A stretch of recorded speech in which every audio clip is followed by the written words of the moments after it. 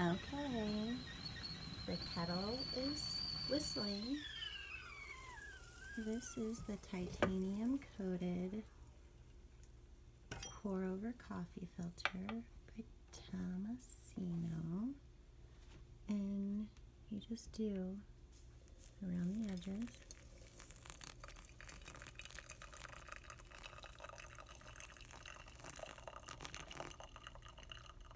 And we used the Perfecto Gourmet Dark Roast.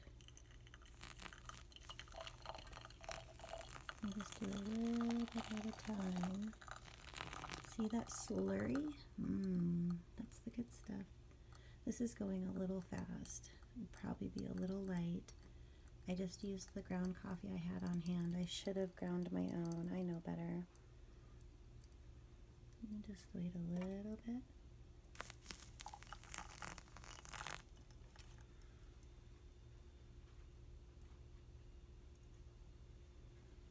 And that's pretty much how you do it. I received this product at a discounted rate and return for my honest unbiased review. Look below for more information.